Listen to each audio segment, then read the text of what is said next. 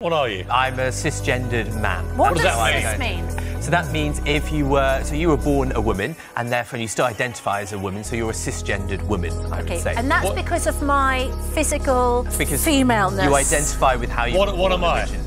Well, I assume you're a cisgendered. I'm not a cis anything, if mate. I, if I may assume. I'm not a cis anything. I'm just a man. Well, no, but you're a cisgendered man. No, I'm not a cisgendered anything. But hang on. What does if- cis mean? Well, that means that you were born the way that you identify No, now. I'm just born a man. But someone who transitions. Why are you to be a insisting man- on calling me something I'm not? Well, you can refer to yourself as just a man if, if, if, if you like, but most people identify as male or female, man or woman. That's right, the vast majority of people. But that doesn't mean that there aren't other people who identify differently. There are a hundred different genders on this BBC list, apparently.